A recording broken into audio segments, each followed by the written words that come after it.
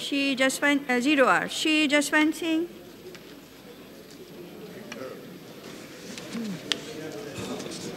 I'm, thank you. It it gives me no great joy, Madam, to referring to what I call this very curious Italian job. Why do I call it Italian? And why do I call it curious? It is a sequence of events that we have witnessed in the last year plus that makes me wonder as to where the country is now headed. I do not wish to take the time of the House in narrating the entire sequence. There are certain facts which are overriding. A crime is committed. It is a crime, madam. A crime is committed against Indian citizens in Indian waters, and it is indisputable.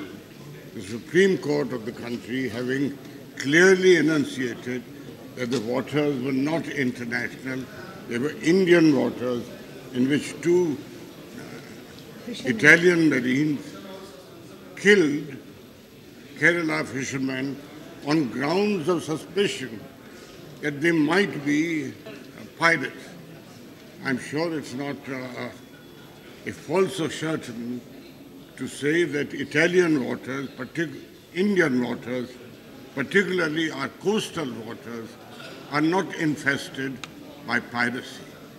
And therefore, for those Italian marines who were not on an Italian flagship, they were on a freighter to have killed our uh, fishermen is, is a matter is a matter that should really have concerned the entire nation. They were arrested for a year. They are there, and uh, in a very strange and a curious fashion, again, madam, they are granted a kind of a parole because it is Christmas and New Year, and that parole is to permit them to go home to observe celebrations of Christmas at home. This is very unusual and very strange treatment because those, those Italian Marines are prisoners for a crime which is of killing two Indian citizens. Why is this treatment to the Italian Marine? Would Indian citizens similarly imprisoned be permitted to go home and celebrate Diwali or Holi or Ramadan or, or any such? They would not be so permitted. Why was this done in the case? Simply because they were Italian Marines? This is not acceptable. Thereafter, because they had given an assurance to our Supreme, uh, the Kerala High Court had established that you must confirm and the government must ensure that there is sufficient surety of these Marines returning to India to face the rest of the trial. They come back, and thereafter, in what I can only term as a rather strange judgment from the Supreme Court, the Supreme Court says, okay, you can go home and vote in Italian uh, Election. election. I'm impressed, sir, Madam, by, by these Marines and their desire to go and vote in Italian elections. Do we permit similar treatment to criminals in Indian prisoners or of any? So a question does naturally arise. Why was this special treatment shown? Thereafter, of course, the rest of the events are now known.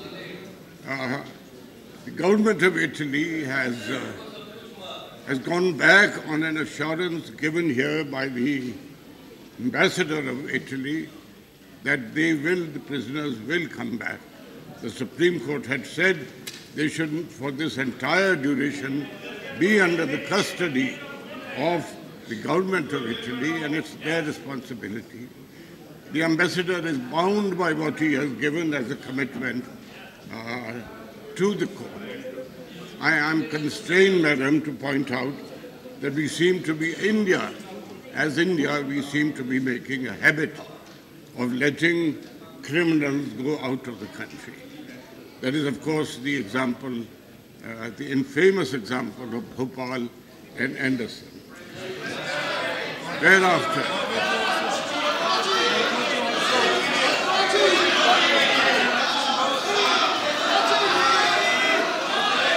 Nothing will go on record. Nothing will go on record. thereafter, Please, let's have it. thereafter, thereafter, we have the Purulia arms case. The Purulia arms case, we still suffer the consequences. in Delhi. There is after that, of course, the infamous matter of uh, an Italian called Quattrocchi, in whose escape from Delhi the CBI is complicit. And now, thereafter, then suddenly we find these two Marines who are now refusing to be returned to India, and yet another fisherman is shot on the coast of Somalia by Americans. India is not a country that should tolerate this kind of uh, treatment to citizens of India. These fishermen are citizens of India.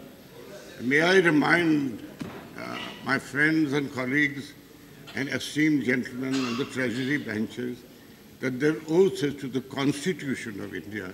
Their oath is to protect and serve the Constitution, is not to serve and protect anybody else. One more point. There is one more point. It is, of course, our right to ask of the government, what do you intend doing? How do you intend correcting the situation? I'm grateful that the Prime Minister is present here.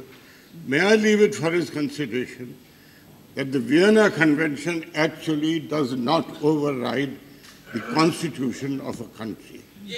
Simply to say that by the ambassador is covered by the protection of Vienna Convention, therefore he can be violative of the constitution of India would not, at least to me, be a convincing argument. I do appeal to the government. This is not simply a question of the government being tested. We are all being tested. The country is being tested here, and we are being tested in the eyes of the international community as to where India stands on issues of protection to its own citizens. Let the government rise to the occasion. Thank you. Thank you, Basudeb Acharia.